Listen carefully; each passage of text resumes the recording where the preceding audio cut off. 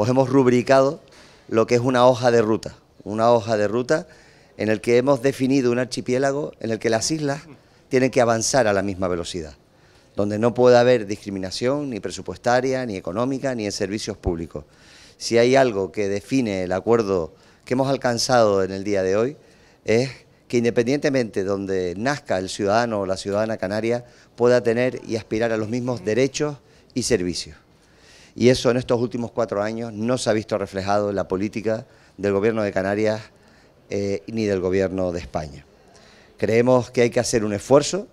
En su momento de la legislatura pasada hubo una apuesta decidida con el Fondo de Desarrollo de Canarias, que la agrupación socialista Gomera y el Partido Popular salvaron eh, en el último minuto, precisamente con esa filosofía, la de dotar a los ciudadanos de las islas, de todas las islas, las mismas oportunidades y derechos.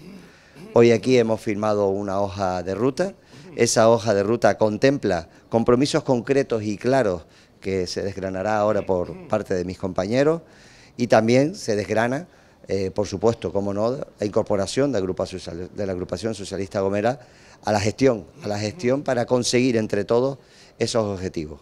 Por eso yo termino, digamos, este es un acuerdo de islas iguales, un acuerdo por luchar, insisto, para que independientemente de dónde se nazca o dónde se viva, se puedan tener las mismas oportunidades. Un acuerdo de estabilidad y sobre todo un compromiso claro de gestión, poniendo al ciudadano en el centro de toda la gestión pública. Muchas gracias.